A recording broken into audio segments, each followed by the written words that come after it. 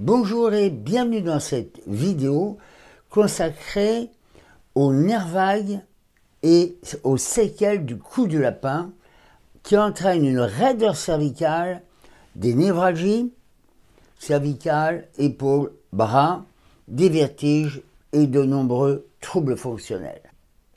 La majorité de mes vidéos reposent sur des cas concrets, ce qui me permet de vous expliquer ma démarche ostéoposturale, tant dans la recherche des causes que dans celle du traitement, capable de les éliminer ou au moins d'en atténuer les effets néfastes. Aujourd'hui, le cas d'IP, 24 ans, m'a paru intéressant à plus d'un titre et vous allez rapidement comprendre pourquoi.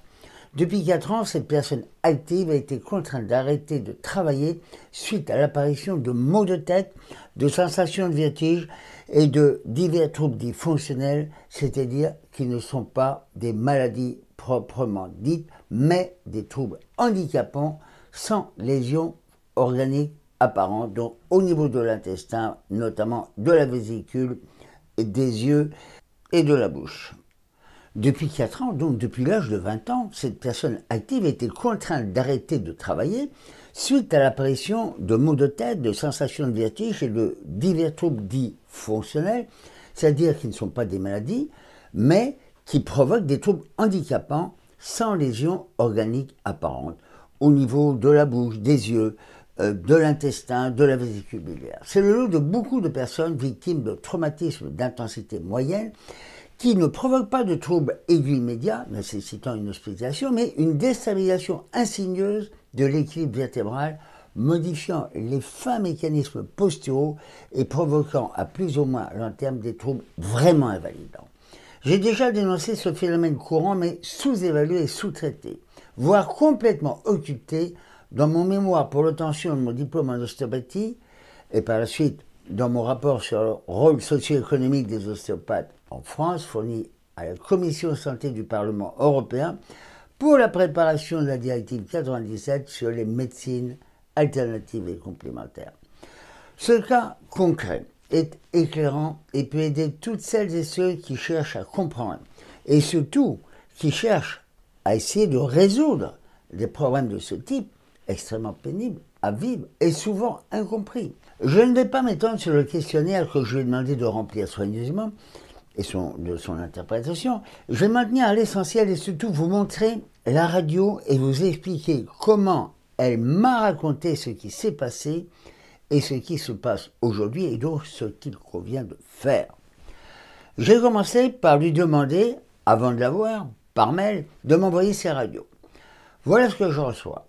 Je n'ai pas le compte rendu, mais d'emblée, comme vous le voyez, la courbure cervicale, qui est normalement creuse, ce qu'on appelle la lodose physiologique, a disparu, remplacée par une raideur. Le cliché de face, quant à lui, montre un atlas, la première étape qui soutient la tête, de travers. Regardez ici la flèche qui montre le pincement articulaire entre atlas et occiput et atlas axis. Quand vous savez qu'à cette zone carrefour passe le nerf vague, parasympathique crânien, le nerf d'Arnold et l'artère vertébrale, vous comprenez que la plupart des troubles éprouvés par mademoiselle IP ont des chances de provenir de cette zone en particulier, sans préjuger des compensations posturales qui sont installées depuis toutes ces années. Lors de la première consultation, mademoiselle IP m'apporte les conclusions de ces radios. Il est marqué, donc, en conclusion, effacement de la courbure cervicale, mais aucune référence un pincement, un décentrement, bref. Mes recherches ont démontré que ces troubles fonctionnels, de même que l'arthrose localisée cervicale, lombaire ou dorsale, étaient des séquelles articulaires de traumatisme ancien dans 75% des cas, mémorisés dans le cerveau bien sûr, mais surtout dans les tissus, ce qui s'appelle la mémoire du corps ou mémoire tissulaire. Ce trouble de la statique, avec aplatissement de la lordose, on peut même dire début d'inversion de courbure, n'est pas normal, n'est pas inné. Mademoiselle IP se remémore un accident violent survenu quelques mois avant l'apparition des premiers troubles. Un coup de lapin sévère dans un accident de voiture où elle était passagère. Voilà ce qui se passe en cas de choc brutal avant ou arrière au niveau du cou. Le choc entraîne une distension brutale des muscles aponevroses et ligaments de la base du crâne et du cou et un écrasement des disques situés entre les vertèbres, tel une noix dans un casse-noix.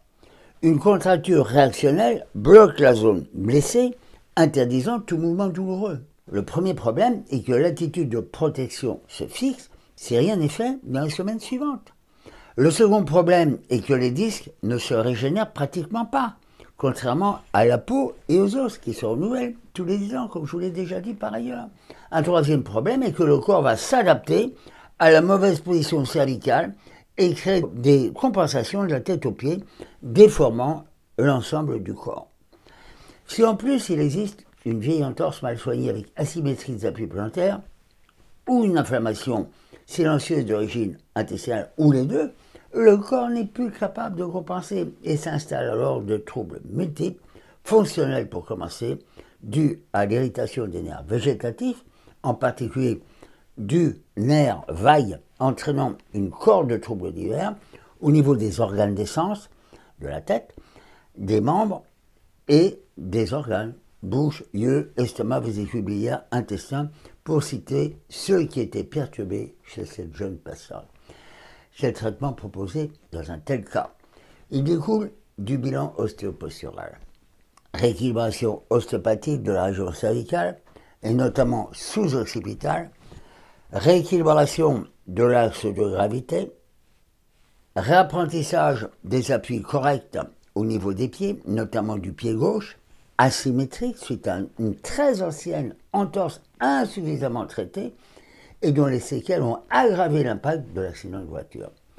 Mise en place d'un programme alimentaire anti-inflammatoire avec restriction drastique de certains aliments responsables d'une colite chronique connue, programme de réhabilitation posturale avec des exercices d'équilibre, d'assouplissement, de stretching, exercices synergiques oculaires et cervicaux pour récupérer une lordose aussi physiologique que possible, ergonomie bien entendu, réapprentissage de la marche en équilibre dynamique, exercice du Sherpa, réapprentissage de la respiration diaphragmatique et du contrôle du nerf vague. Un vaste programme à suivre sur six mois à un an avec suivi ostéopathique et postural mensuel. Cet exemple parlant m'a permis de vous expliquer tout l'intérêt de la démarche ostéoposturale dans la détection et le traitement des problèmes chroniques qui sont, je le répète, à 75% non des maladies programmées, mais des suites logiques d'atteintes physiques traumatiques insuffisamment soignées, voire ignorées, avec les suites mécaniques logiques d'un corps vivant qui cherche par tous les moyens à retrouver un équilibre, même imparfait, même inconfortable, même douloureux, pour survivre. Je vous remercie de diffuser cette vidéo à celles et ceux de votre entourage qui ont subi un traumatisme physique, même très ancien. J'ai eu récemment un cas au trauma initial daté de 70 ans. Il ne faut jamais désespérer de s'améliorer, lorsque cela est possible, bien sûr, donc réversible. L'arthrose débutante, les douleurs chroniques, les troubles impliquant le nerf vague ou le système sympathique constituent des signes d'appel. Ce ne sont pas des maladies, mais des appels au secours de votre corps qu'il ne faut pas étouffer ni qualifier de psychique, comme c'est souvent le cas, mais tenter de comprendre et de traiter de façon à la fois globale et précise. Pour en savoir plus, si vous êtes concerné, je vous conseille de suivre mon programme vidéo sur le traitement naturel de l'arthrose cervicale, bien entendu, via le lien en fin de vidéo dans la fiche ci-dessus et dans la description ci-dessous.